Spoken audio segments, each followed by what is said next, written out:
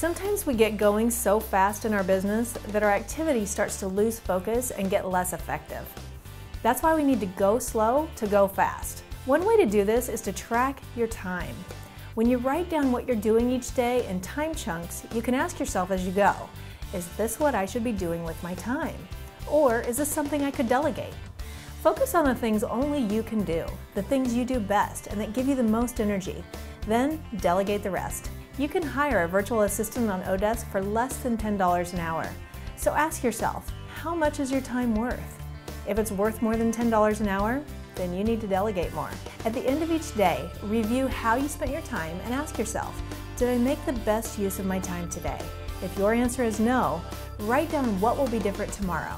Stay tuned for my next one minute video marketing tip of the month.